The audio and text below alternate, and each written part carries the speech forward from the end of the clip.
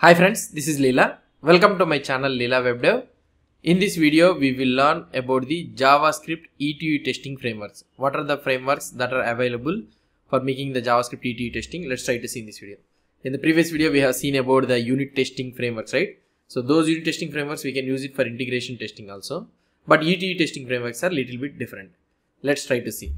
So first of all, before knowing about these ETU testing tools or frameworks, First of all, we need to know what is ETU testing or functional testing. ETU testing or functional testing controls browsers and simulate user behavior in the browser. So that means ETU test, what, whatever the ETU test you write, it will control the browser. That means it will open the browser and it will do accordingly what the user actually does in the browser. So by clicking, typing, scrolling, etc. And make sure these scenarios actually work from the point of the view of an end user. So how exactly the end user performs the actions in the same scenario the ETU test also performs the like the same thing. Let's try to see what are the frameworks that are available in the ETU test. First one is in Puppeteer. Puppeteer is a Node.js library developed by the Google. So here it is it was developed by actually by Google. It provides a convenient Node.js API to control Chrome and headless Chrome through an API the browser exposes. So that means it provides a Node.js API to control the Chrome or the headless Chrome. Headless Chrome means if you access this headless Chrome, you will have all the APIs. Chrome API, the browser exposes. Whatever the browser has the APIs, it you will be having access to the Puppeteer, the DevTools protocol. When Chrome is, is running in headless mode, it exposes API to control it. So whenever you open the Chrome in a headless mode, it exposes and it has some API to control the browser. So you can control the browser using that API. Puppeteer is the JavaScript tool that Google provides to control it. So Puppeteer is normally it's a JavaScript tool that provides to control it. Puppeteer is maintained by Google and has a big community that uses and develops tools and wraps around it. So Puppeteer is an maintained by Google. Since it is native and uses the latest Chrome engine, it is very fast. So as this uh, Puppeteer is uh, belonging to the Google, so it have access to the Chrome. So latest Chrome engine, it will have access the APIs and for that reason it will be very fast. So one of the major uh, drawback of headless Chrome is the Puppeteer as well. It doesn't support the extensions like the Flash. So some extensions will be there, right? So it doesn't suppose support those extensions. Why? Because we are accessing the Chrome through the headless. So headless Chrome is just a regular Chrome v59. So that was launched with the hyphen hyphen headless flag. So whenever you launch the Chrome with hyphen hyphen headless flag, then you will be able to open the Chrome with headless. So when Chrome is running in the headless mode, it exposes API. Already we, we know about this one. So in in the end of 2017 or 2018, I think Firefox has also released their headless mode also. So Firefox also has their headless mode. So we can open the Firefox in the headless mode also. So that we will be opening through the now what we can say through the coding. So this is about the Puppeteer. Playwright. Another one is a Playwright. So Playwright is like same like Puppeteer only. So it was extended to more a Puppeteer extended to more browsers, but this is extended to more browsers. Where Play, Play Puppeteer supports mostly the Chrome, right? So why? Because it was developed with the Google, so it has some tight relationship with the Chrome. But here Playwright is like Puppeteer extended to more browsers. So now here this one is developed by Microsoft by the team that originally developed by Puppeteer. So the team who uh, who has developed the Puppeteer, the same team has developed the Playwright, but through the Microsoft. The library automates Chrome, Chrome, Firefox, and WebKit Safari by using the DevTools protocol for Chrome and similar technologies for other browsers also.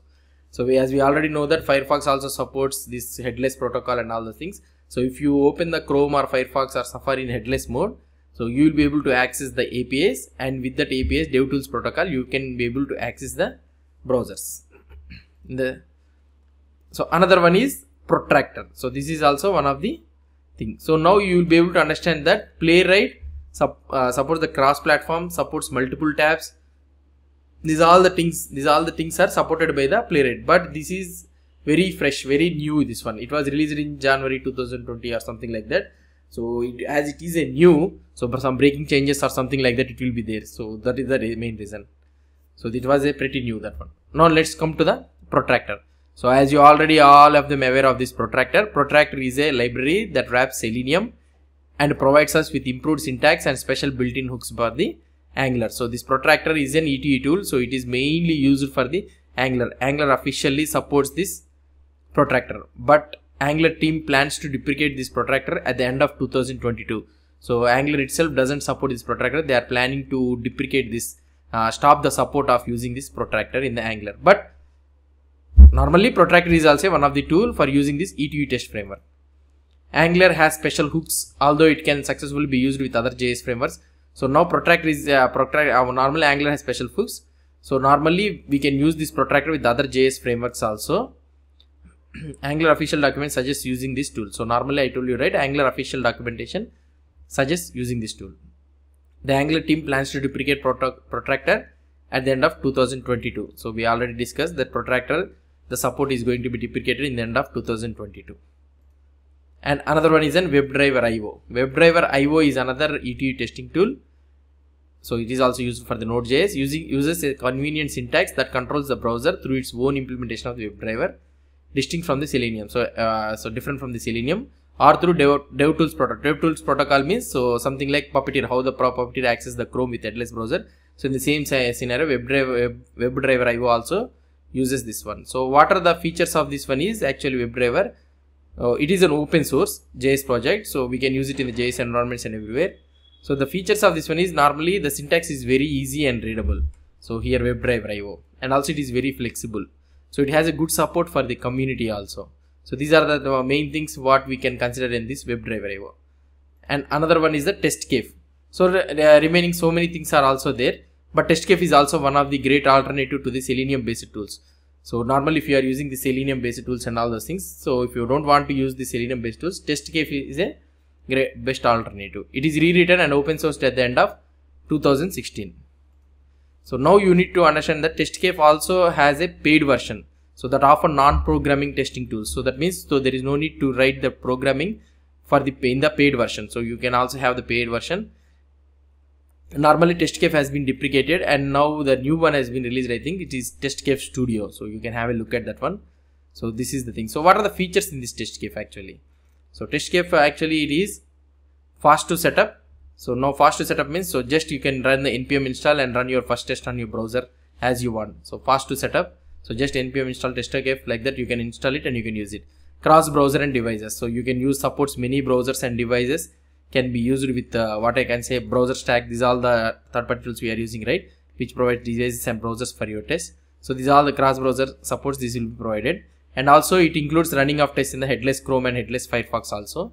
So which we have discussed later, uh, which we discussed previously, and also it supports the parallel testing.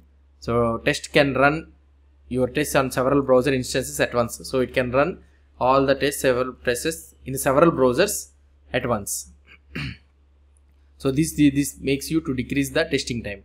So convenient error reporting. So this is also one of the thing. And a one ecosystem. So this is also one of the feature you can consider. So these are the features testcafe has. So now next last one is not but that the least one. So most of the people will be using. So test cypress. Cypress is then cypress or cypress whatever the name it will be. Cypress is a direct competitor of testcafe so this is the direct competitor of testcafe they are doing relatively the same which is injecting tests into your website but they try to do do it in a more modern and flexible and convenient way. So what the test testcafe does it the same thing cypress also does it. It's a direct comp competitor but it will do it more flexible and convenient way it seems. So the difference between them is that Cy cypress runs itself in the browser and controls your tests from there where testcafe runs in node.js and controls the test through a serialized communication with its injected script in the browser. So that is the main difference. So cypress.io runs itself in the browser whereas testcafe runs through the node.js. So what are the features of this Cypress? So normally the features of this Cypress is Cypress is sorry parallel testing. So this was introduced in the version 3.1.0 I think something like that 3.3 version 3 and it has a good documentation solid and clear and native access to all your applications variables so without serialization testcafe uh, so you'll be having like that. Very convenient and running and uh, debugging tools. Easy debugging and logging of the test process. So now another one is the cross browser support. So you can also have the cross browser support also. So this is all about the different types of E2E tests. So these are all the things. Mainly we'll be using the Cypress. So Cypress now we can use it in Angular also. So testcafe is also one nice thing and for angular so pre uh, so right now the people are using still protractor. But protractor what is that one they are saying is so they are going to deprecate it in the late 2022 so i do i hope so. So now we need to now in the angular latest version they are not at all giving the etu test. So protractor is not uh, added by default. So we need to add our own etu testing tool by our own. So previously protractor has been injected default just like the jasmine and karma but now jasmine and karma is there but protractor is not supported by the angular team. They are not giving it by default. So this is the thing you need to remember. So we can use the protractor protractor learning the protractor is also important thing. Only why? Because so recently only protractor got deprecated. Previously all the older versions of angular still uses the protractor for etu testing. So you'll try to learn about this protractor also. And also you'll learn about this cypress also. Cypress will be used for all the js frameworks whereas protractors mainly supports the angular thing so it provides a good documentation and the angular itself supports protractor so that is the reason so hope you understood about this etu testing tool so if you have any doubts or any suggestions, please post the comments below to this video. And if you like this video, please do support me by subscribing to my channel. Thank you.